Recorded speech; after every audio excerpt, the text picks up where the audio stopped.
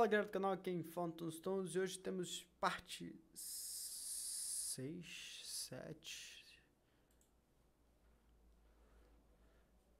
Parte 7 do nosso tutorial de Mix and Master aqui que eu tô fazendo no canal. Lembrando que se esse vídeo ganhar 100 likes, eu posto parte 8 hoje, senão só amanhã. E vamos lá então. Vamos continuar aí com nossos vídeos. E a gente já falou do nosso kick, nosso clap, nosso bass, nossos sintetizadores, nosso vocal. Mas e a percussão e o resto? E todo esse resto aqui?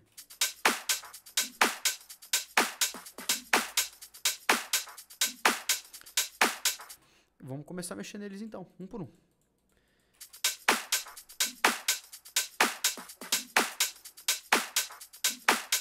Começar com esse, com esse coisa aqui.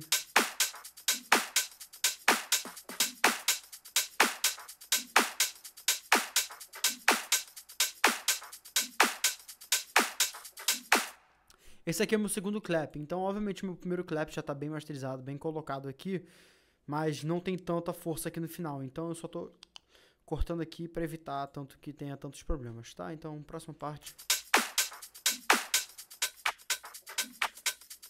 Vamos ver essa parte aqui. Hum, interessante.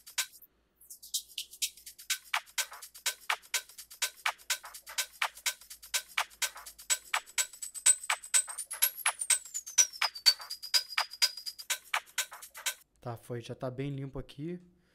Próxima parte. Eu só vou fazer, eu só tô fazendo aqui, depois eu vou vir e vou fazer o, o reverb aqui para todo mundo. Aqui não tem nada. Meu hatzinho aqui. Ah, esse aqui é essencial.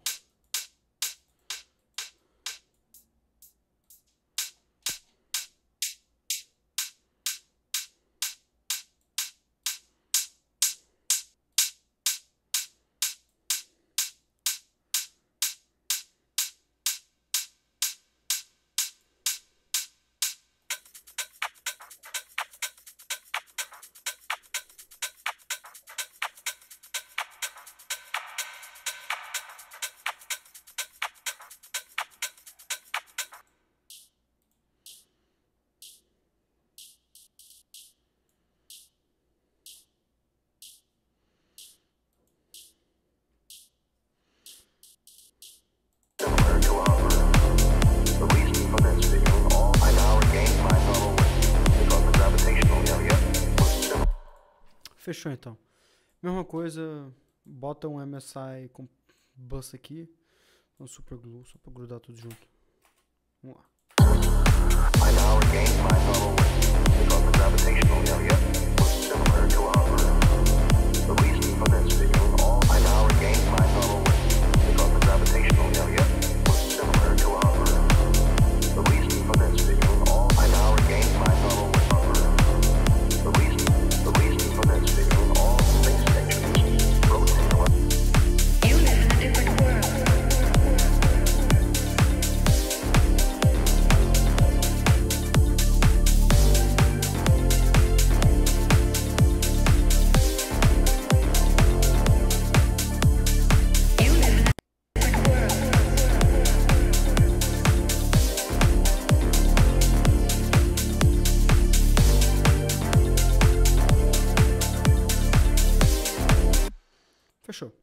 Então, basicamente, eu fiz só um EQ de um lado pro outro, em vez de fazer um full, tipo um full on é, compressor e tudo mais, eu decidi só usar uma compressão no final, só para dar aquele gain extra. E se eu quiser fazer o seguinte, eu vou adicionar só um pouquinho mais de reverb em tudo. Obviamente já tem alguns elementos aqui com reverb, não preciso fazer isso, mas só, só vamos só tipo dar aquele pitada extra de reverb só para acertar. You live in a different world.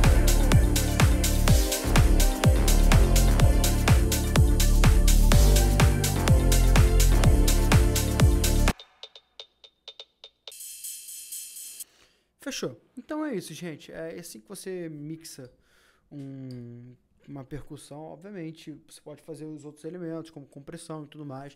Mas como eu falei no primeiro vídeo dessa série, nem todos os elementos precisam e eu sei que esses não precisam.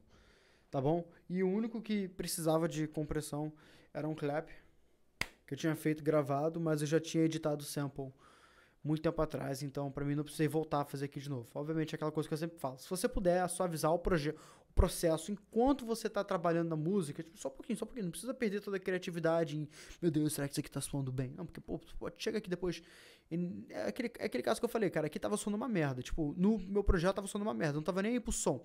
Tipo, se tava soando bem um com o outro ou não. Tipo, não, não isso em termos harmonicamente, mas tipo, se as frequências estavam certas ou não. Então, tipo, aqui eu cheguei e depois eu consertei tudo. Agora tá tudo certo. Vamos lá.